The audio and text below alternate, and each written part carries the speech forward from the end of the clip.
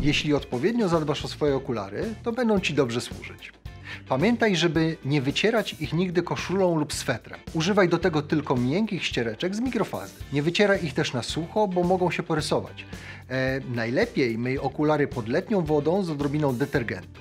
Rób to mniej więcej 1-2 razy w miesiącu, a między myciem okularów pod wodą używaj specjalnego płynu do mycia okularów. Koniecznie bez alkoholu, żeby nie uszkodzić powłok na soczewce.